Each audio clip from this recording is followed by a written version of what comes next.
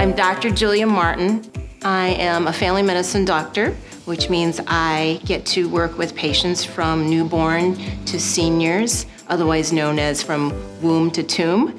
I have family here. My, I am married to my husband Todd Martin, and we have two lovely children, Joe and Maylee, and my beautiful, lovely dog, Star. I went into family practice because I wanted to see all different types of medicine. I think the most common chronic medical problem that the United States suffers is obesity.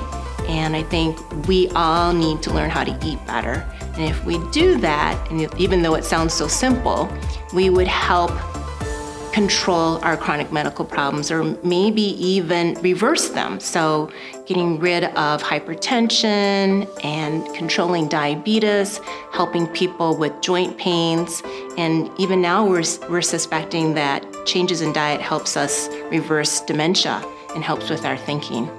So, there's uh, a patient that reminds me why I went into family medicine.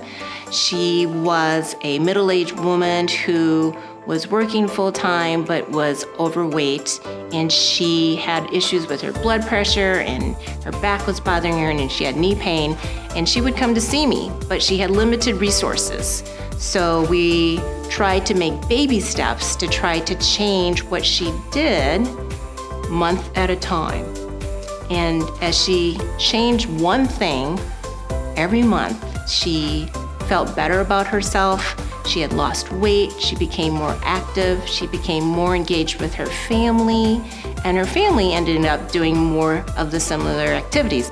The most rewarding part of my career is being to being able to work with people, to be able to work in partnership with them and try to find the right answer for them with their health care so that I can help them stay strong and healthy.